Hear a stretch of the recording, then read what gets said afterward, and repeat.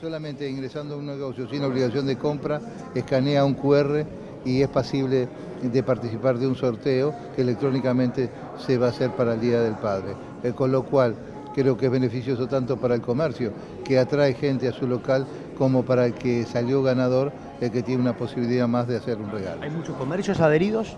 Eh, sí, nosotros nos basamos en lo anterior, sí, creo gran parte de los comercios de los centros comerciales de la ciudad estaban adheridos, recién ahora empezamos eh, en esta nueva etapa e imagino que sí, que seguramente va a superar la anterior porque ya hay una experiencia muy positiva. ¿Esperan que pueda incentivar el consumo de esto? Siempre, todo lo que hemos visto que el consumo, a pesar de que la principal problemática es la falta del poder adquisitivo, cuando tiene posibilidades extras, promociones, cuotas, etcétera, eh, se estira un poco más. Y esto, sin quitar dinero del bolsillo a nadie, le aporta un dinero más, o sea que estamos inyectando 6 millones de pesos en la ciudad de Rosario a distintas compras.